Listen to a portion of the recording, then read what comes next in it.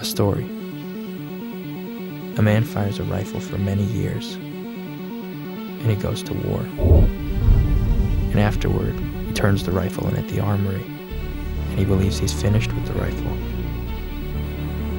But no matter what else he might do with his hands love a woman, build a house, change his son's diaper his hands remember the rifle.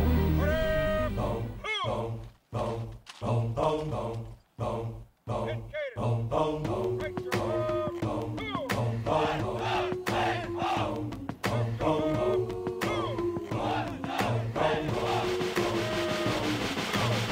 are no longer black or brown or yellow or red. You are now green.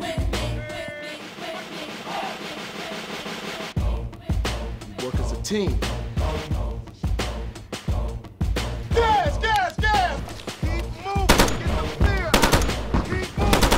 The grunt dies for 15,000 poorly placed rounds. The sniper dies for that one perfect shot.